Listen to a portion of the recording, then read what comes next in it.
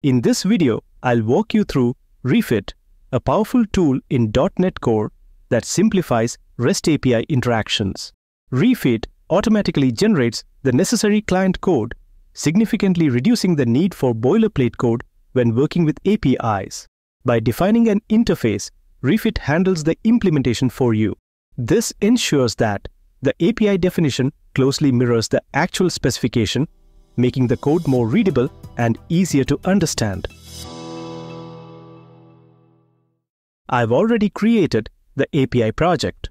In the user controller, we have methods for all the CRUD operations.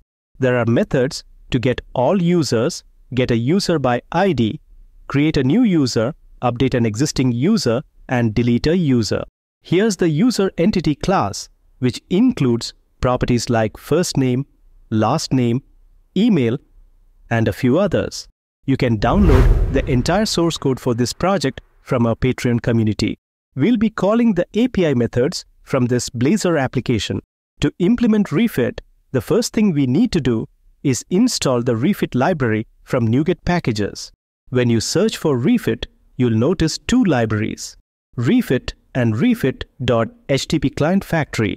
In the dependencies section of refit HTTP client factory, you'll see that the refit library is a dependency, meaning it will also be installed automatically.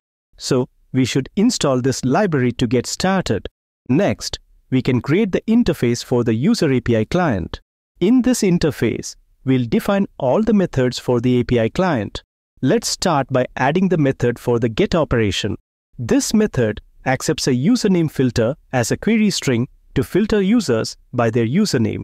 The get method will return a list of users and will accept the username filter as a parameter. Now, let's add the necessary attribute for refit. Since this is a get method, we can provide the get attribute and specify the URL as API slash user.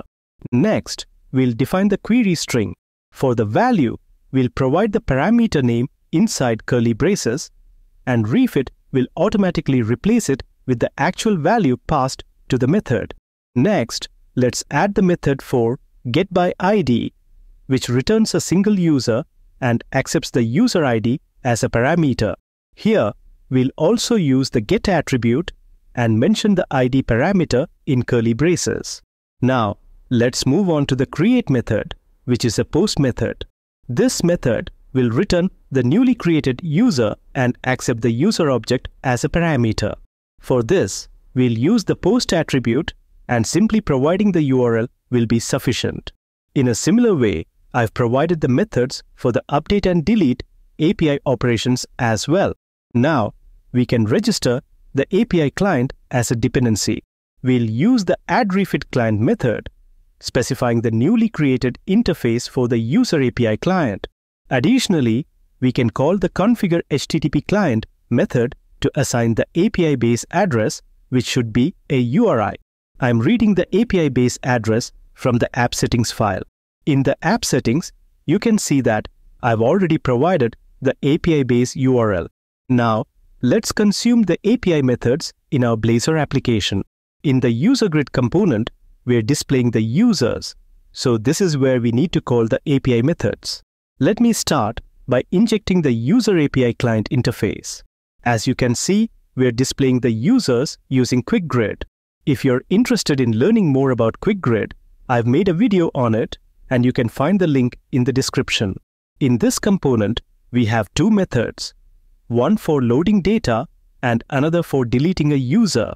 In the load data method, we'll populate the users by calling the get method passing the username filter as a parameter. Next, in the delete method, we'll call the delete API method of our interface, passing the user ID as a parameter. After deleting a user, we can reload the data to refresh the user list.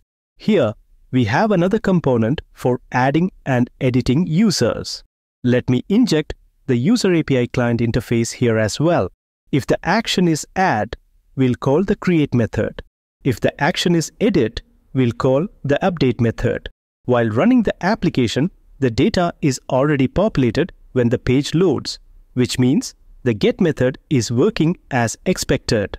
Now, let's try to add a new user by entering the required details. As you can see, the user was created successfully. Next, let's try to edit the user. I'll modify some of the values. And there it is. The user has been updated successfully. Finally, let me try to delete the user. The user was deleted and removed from the list. You can refer to the source code in our Patreon community to gain a deeper understanding. Join our community to level up your skills and take advantage of exclusive benefits. If you enjoyed this video, please like, share and subscribe to the channel. See you all in the next video. Thank you.